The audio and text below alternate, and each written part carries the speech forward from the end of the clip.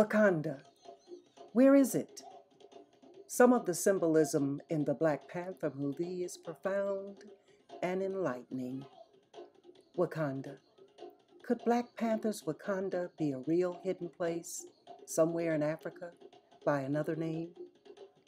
To our knowledge, no outside stimulus like this movie has ever created this kind of revolutionary self evaluation of a people. Never has the spirit of black folk been instantly catapulted to such wondrous heights of self esteem. But why? And why now? And what is the reason for it? Let's investigate. Although Wakanda is the symbol of what is possible in the movie, it also gives us a blueprint of how to get there. In the film, the whole reason for Wakanda's development was the people's utilization of the vibranium that fell onto their location. Because of this, they excelled by creating great inventions in the imaginary Wakanda. I venture to say that vibranium is necessary in reality. The results of what the idea of it has done to our people is the stimulation within the mind. The impact that it has on the brain is today's vibranium. Let's break the word vibranium down. VIB is the root word for vibrant, meaning brilliant. Brain is self explanatory, and IUM is the root word for chemical vibrant brain chemical. Now, what could that vibrant brain chemical possibly be? Melanin is the superconductor within our brains that is the creative, mental, physical, and spiritual source and force within us that European scientists have been trying to figure out for centuries. According to Dr. Llaila Afrika, it is that black superhero substance within us that gives us ancestral memory. It enables us to be the best there is in everything we focus on, even when stripped of all that they thought disabled us. That's what the Black Panther movie spiked awake inside of us all. Melanin has always been our creative, sustaining, powerful, unstoppable, long lasting, and protective vibranium. Dr. Llaila Afrika stated in his We Are Different YouTube video that I suggest you study to better understand yourself. And I quote The more melanin you have, the more civilized you are. The more melanin you have, the more psychic you are. The more melanin you have, the more information your brain can store. The more melanin you have, the faster the nerve transmissions are. The more melanin you have, the more sound you absorb in your ear so you can hear the full range of sound. No other race can do that. The more melanin you have, the more color you can absorb in your eyes. That's why your eyes are brown. You actually see the full color. You see this color where white folks see a paler tan. Because the more melanin you have, the more you can see what God has meant for you to see. The more melanin you have in your taste buds, the more you can taste the full flavor of the food. No other race can taste an apple like you can because they can't absorb the full flavor, because you need melanin to absorb the full flavor of food. That's why we combine food differently from other races, because we can actually taste the food. That's because of the high amount of melanin we have, which we sometimes take for granted. Melanin is the chemical key to life. There is nothing else to study in science, which is melanin. Close quote. Melanin has propelled us into greatness that no other race on this planet has performed. We have suffered unbelievable destruction of our culture, family, religion, self worth, language, disheartening of our spirits, creation of self hatred, and slave mentality programmed by others during and after slavery which were all insurmountable odds to keep us relegated to inferior status and no self worth. In spite of it all, we have arisen and risen to show the world how to move into a technical age that would not be possible without us. We have proven that there must be a Wakanda somewhere because of our creativity and resilience. But Wakanda does exist. It is a place, a space that exists in our melanated minds, bodies, and spirits. It exists because, had it not, the Moors, black people, would not have existed to show peoples in the world, unlike themselves, how they built all of the great castles, brought mathematics, clean living conditions, care for animals, education, righteous living, and ruling techniques to specifically Europeans who were ignorant and suffering. Check out the four DVD collection, Hidden Colors. Had Wakanda not existed in our minds, the great Pharaoh, male and female regents who built all of the pyramids, would not have left the information of who they were carved in stone for us to see today, to remind us of who we are as a people and the greatness we carry within us. Our layman persecutors are now beginning to believe the truth of who we are after having watched the characters and wondrous inventions portrayed in Black Panther. The powers that be have always known. It is the general populace who do not know our glorious creative history in the world and in this diaspora. Our ancient Nubian African ancestors were creators of medicine, law, the seven curriculum, righteous living, guides to spiritual growth, writing, libraries, languages, civilizations, and much more. The list is unending. Dr. Asa Hilliard, in his presentation, Free Your Mind, Return to the Source African Origins of Civilization, stated When we have been told that we have created nothing in the world, and we learn who we are historically, we find that we have created almost everything in the world. Close quote. Cheikh Diop proved before the greatest European scientists and Egyptologists of his time that melanin doesn't deteriorate even in fossil form. He had six educational degrees, but used his chemistry and biology degree knowledge to prove who the ancient pharaohs were. He stated that his experiment would prove that loosely based melanin in the skin of ancient pharaohs would prove that they were white, and tightly based melanin would prove that they were black. Well, all of the pharaohs were proven to be black. From that date on until recently, all the bodies of the pharaohs were hidden in the basements of the Cairo and British museums. Europeans are expert at hiding the truth of the greatness of people unlike themselves. Dr. Hilliard, by proving how great we were in history, shines brightly on our excellence today. What are some of the magnificent creations of Black people?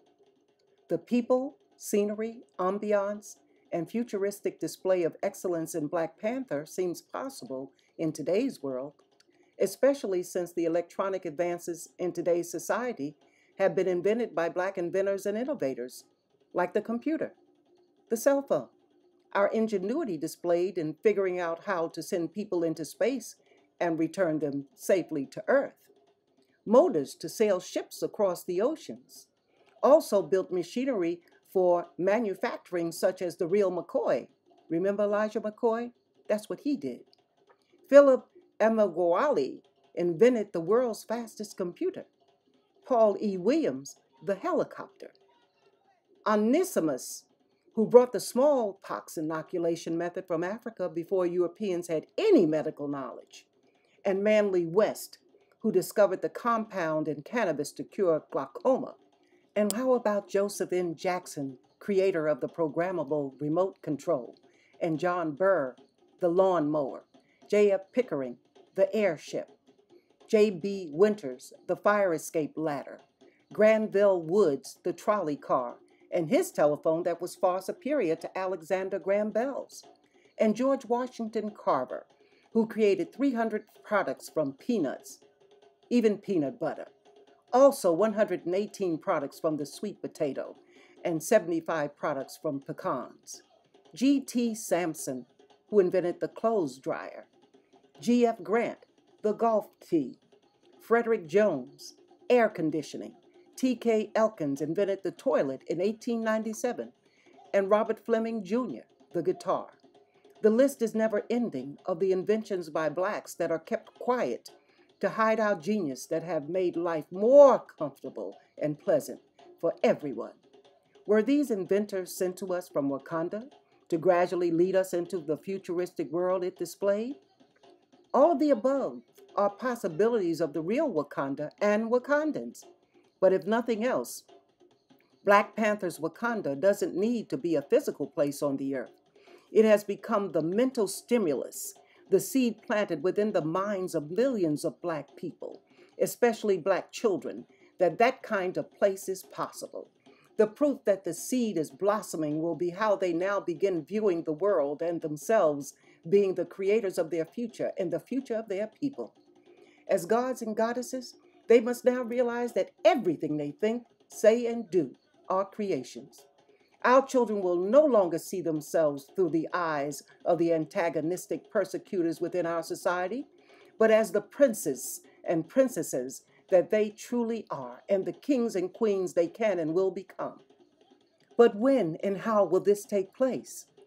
It will happen when we again understand the hieroglyphics sent down through time as the Bible and what it tells us about who we truly are. What does it say? It says, In the beginning, God said, Let there be light. And everything that God said came into being. God also said, Let us make man, meaning the original man and woman, in our likeness and image. This means we are gods and goddesses, and everything we think, say, and do is a creation. If you don't believe it, let's hear what Jesus said about us.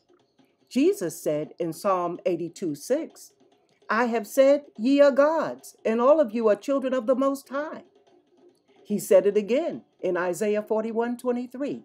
Shew the things that are to come hereafter, that we may know that ye are gods, yea, do good or do evil, that we may be dismayed and behold it together.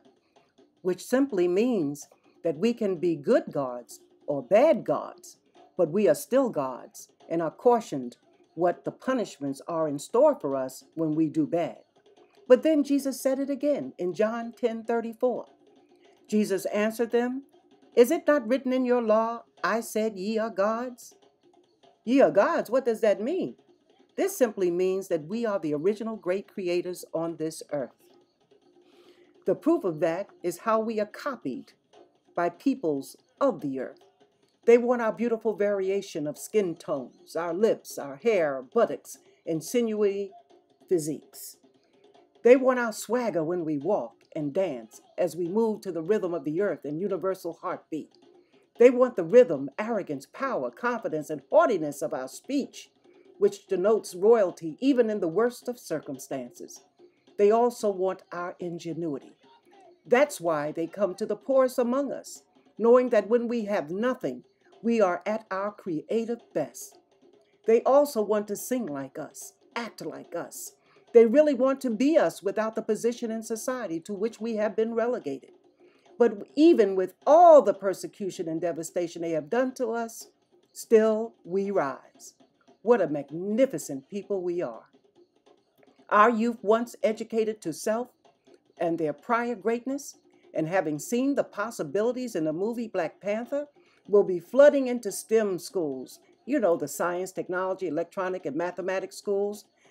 They will go to them to express their new imaginary concepts, visions, and high self esteemed reality gleaned from the movie of what they can become. God has awarded us with the Black Panther movie at this appointed time to pull their minds, emotions, bodies, and spirits out of the movie Get Out's sunken place of slave mentality and ignorance of self. We have all been spiritually awakened down to the root of our DNA ancient memory banks. Black Panther has impacted and shaken the people around the world to their core. This has compelled other races to see our people as a whole differently and no longer as less than to be relegated to the bottom of the human ladder. Wakanda is real. It is a space within all of our people that is constantly being filled with creations. All we need do is let the spirit within each of us be our guide and allow self love to replace self hate. When this happens, we begin to see that image of love in all of our people and see them as allies instead of enemies that slavery programmed us to do in the past. We begin to see our brothers and sisters as kings and queens, and our children as princes and princesses. When we see one another in this way, we join together to create our future, build our communities, resist anyone, even if they look like us, sent in from outside forces to cause unrest and chaos to disable our unity. We stand unshakable and impenetrable in strength, knowledge, wisdom, and love. We must remember when God said, Let us make man and woman in our likeness and in our image, the Creator bestowed within us that magical creative source, the pineal gland that is Wakanda, that manufactures that magical substance, vibranium, which is melanin. And now that the great awakening of our people is happening, from the movie Get Out Sunken Place of slave mentality and ignorance of self to renewed consciousness of our true selves, we must be more guarded than ever. For the enemy is now, more than ever, determined to destroy us and the melanin within us. This means we must be extra careful of everything we eat, drink, breathe, and participate in. We must research every medication deemed necessary by doctors for our health carefully to assure it does not destroy or have a negative impact on our melanin. Self preservation and the protection of our people has never been more vital than it is today, as more sophisticated weapons are being used against us. So, yes, to the question in the title of this message, Wakanda does exist, and Wakanda is within us. We are Wakandans. After having studied our history and how great we are as a people, when we cross our hearts in the ancient Egyptian Israelite salute and say Wakanda forever, in our minds we should be thinking, I love me, I love my people, I love our creativity, and I love who we are forever. Thank you, Black Panther, for all the symbolism and truth. Wakanda forever.